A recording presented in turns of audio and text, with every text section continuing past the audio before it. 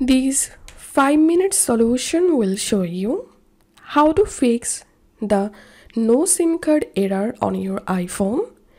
So if you inserted a SIM card but you see there is no SIM card error on your iPhone, just follow these quick solutions to fix this issue.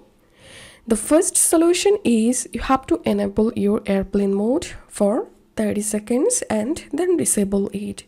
To do that, open your control center, tap on this airplane mode to enable it and wait for 30 seconds and then disable it and hope you will see your network now. And the second solution is change your SIM card and replace it with another SIM card. So eject the SIM tray and remove the current SIM card then replace it with a brand new or another SIM card. Then you will see your SIM network. And the second solution is update new iOS go to settings general software update.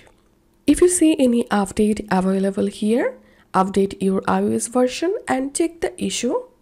Reset network settings go to general tap on transfer or reset iphone reset reset network settings. Once done check the issue.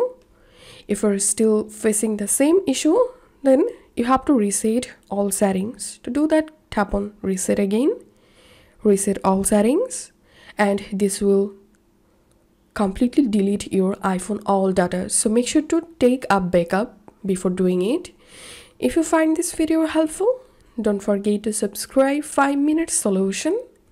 See you in the next video.